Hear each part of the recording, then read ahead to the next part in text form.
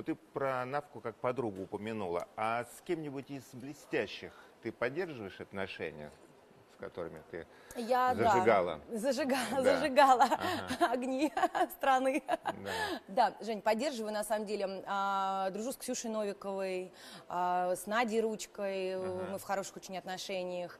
Ну, естественно, сейчас все поддерживаем Жанну. Да, это ужасная история. Да. Вот ужасная история, что меня поразило, вот злорадство, которое в соцсетях, что многие говорили там, сразу почему-то вспоминали деньги, и вот, вот, вот, вот, вот, вот- вот этот аспект совершенно меня как-то по- потряс. Ты- ты это знаешь, неожиданно было. Это, это, это настолько с- страшно, что у нас люди м, так относятся к горю другого человека. Ведь Жанна, она такой же человек, как и все, абсолютно. Она тоже болеет. Она лучше э, большинства, она, в она лучше большинства, ты правильно сказал. И когда люди, как, как- сколько, скольким она людям вообще помогла в своей жизни, насколько она добрейший а, и какой-то, знаешь, правильно живущий человек. То есть она живет по каким-то правильным канонам. Не обижай, не завидуй, да, ну Ну вот все вот эти вот известные каноны к- добра, которые, а, наверное, всем нам э, стоит жить, особенно тем, кто пишет вот эти гадости в интернете, им стоит задуматься и, наверное, Да. поменяться немножко а, в отношении к другим людям.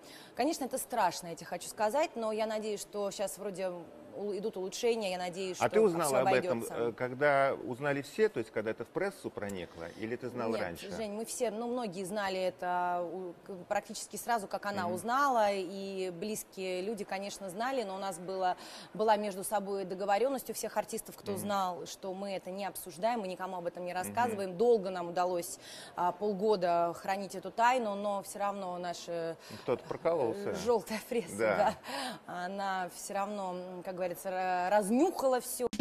Не политкорректно, но без злого умысла. Иронично, но без сарказма. Пристрастно, но по-честному. Правда 24 и Евгений Додолев. С понедельника по четверг в 19.30 на телеканале Москва 24.